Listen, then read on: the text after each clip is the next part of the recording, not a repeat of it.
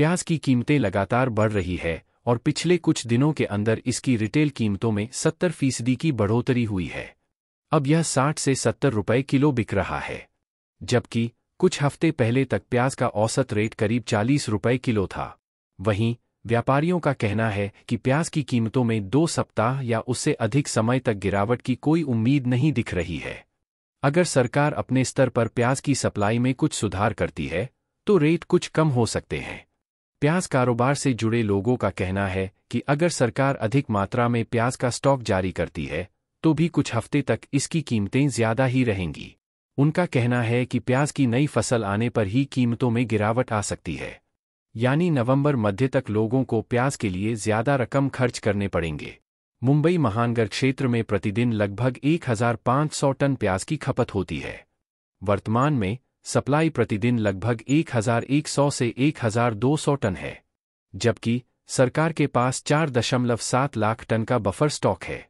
Mid day की report के मुताबिक, हर साल बरसात के मौसम में और उसके बाद प्याज की कीमतें आसमान छूती हैं।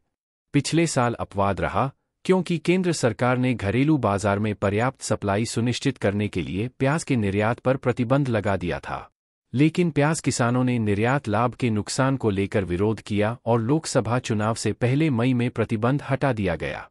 महाराष्ट्र में आगामी विधानसभा चुनावों से पहले किसानों का समर्थन हासिल करने के लिए केंद्र सरकार ने अब प्याज निर्यात के लिए न्यूनतम मूल्य सीमा हटा दी है। इसके चलते कीमतों में तेज़ी देखने को मिल रही है। अभी महाराष्ट्र की राजनीति में प्याज एक प्रमुख वस्तु बनी हुई है। नासिक, डिंडोरी, धुले, अहमदनगर, नंदुरबार बारामती, बीड, लातूर, मावल, शिरूर, सोलापुर, शिरडी और उस्मानाबाद प्याज उगाने वाले क्षेत्र में आते हैं। सरकार यहाँ प्याज किसानों के लिए पर्याप्त काम करने में विफल रही है, जिसका असर हाल ही में हुए संसदीय चुनावों में साफ़ तौर पर देखा गया, जिसमें सत्तारूढ़ पार्टी के उम्मीदवार वहाँ अपनी सीटें बरकरार रखने या जीतने में विफल रहे। Bureau report, market times TV.